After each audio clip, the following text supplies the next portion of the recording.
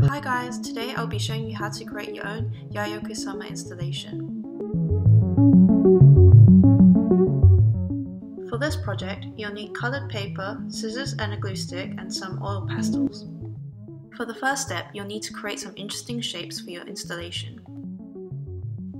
I've chosen to replicate Yayoi Kusama's pumpkins using blue paper to contrast the yellow background, but you can use any colour as long as they contrast each other. To create the depth of field, I'm cutting pumpkins out in various sizes. Once you've cut your shapes out, the next step is to focus on composition.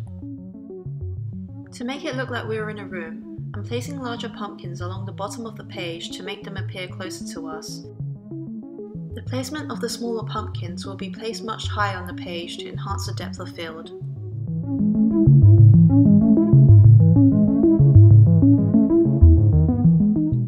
Once you've decided on the composition, fix the objects onto the background using glue stick. Now it's time to add polka dots in the style of Yayoi Kusama. For the polka dots, I'll be using a yellow oil pastel so that it will stand out on the blue pumpkin. This is another piece I created in response to Yayoi Kusama. You can see how the dots are used to contour the pumpkin in this piece. I'm adding the polka dots to enhance the shape of the pumpkins by starting with smaller dots on the top of the shape. And as I work my way down, following the curved edges, the dots are larger in the middle, then the dots become smaller nearer to the bottom.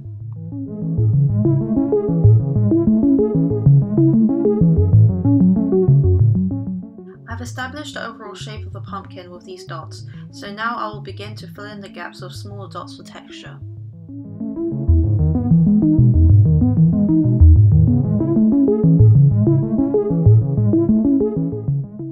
Filling each shape with polka dots, I'm also using a darker oil pastel to add the stalks of the pumpkin.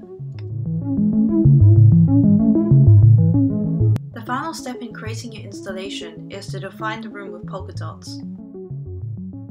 Here is another installation that I've created in response to Yayoi Kusama.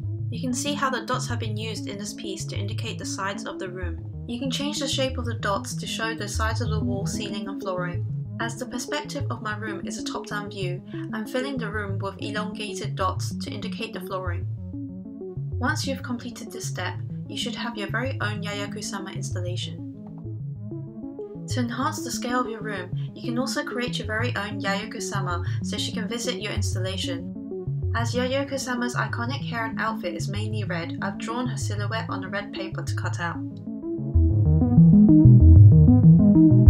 Hands and face, I'm cutting them out from a white piece of paper and then gluing them down onto the red base.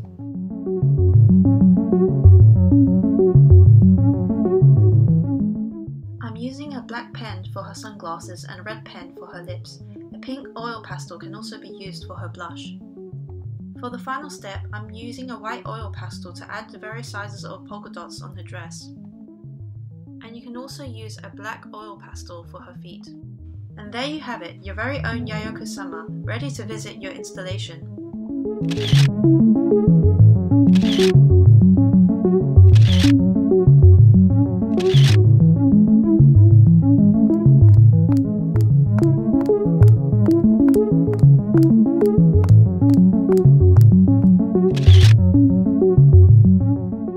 I hope you enjoyed doing this project and thank you for watching. Until next time, bye!